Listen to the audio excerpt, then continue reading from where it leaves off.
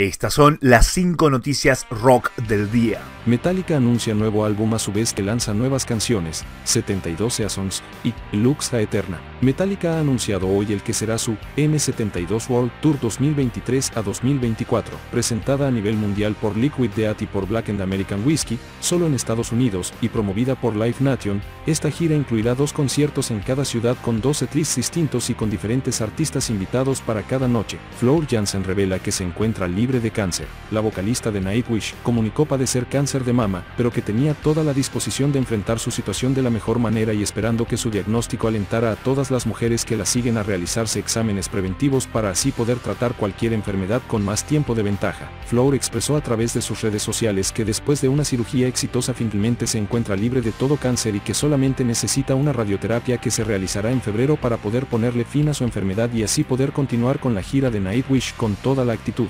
Flour dijo en sus redes lo siguiente. Excelentes noticias. Estoy libre de cáncer. La cirugía se llevó todo el cáncer y no se había expandido. Tendré una radioterapia en febrero para asegurarnos que todo se mantenga así. Estoy recuperando mis energías después de la cirugía y siento gran alivio porque fue exitosa. Aún no estoy al 100 pero estoy segura de que los shows me darán el poder que necesito para seguir rockeando con todos ustedes en la próxima gira europea. Gracias a todos por su gran apoyo y buenos deseos. Fueron sus palabras. Stein prepara nuevo álbum para 2023. El vocalista Aaron Luis declaró previamente que la banda estaba trabajando en el álbum en 2021 y estaban disparando para una fecha de lanzamiento de 2022, que obviamente no sucedió. El guitarrista de Stand, Mike Musok, reveló que el tan esperado nuevo álbum saldrá en 2023 junto con algunos shows durante una reciente entrevista con el Pub Stop To Me. Desde entonces, la banda se ha embarcado en una gira por el casino y una gira con Korn, y ha lanzado un nuevo álbum en vivo llamado Live, It's Wild. Así que tampoco es que se hayan quedado de brazos cruzados, especialmente con todos sus proyectos paralelos.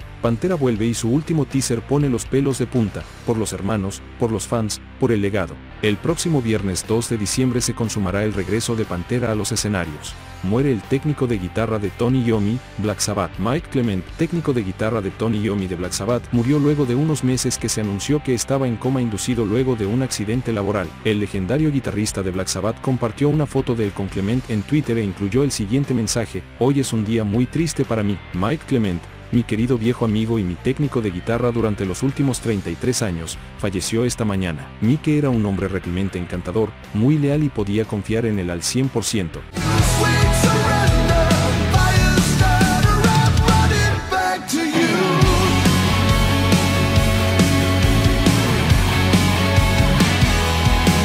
Para estas noticias y mucho más, visítanos en territoriorock.com.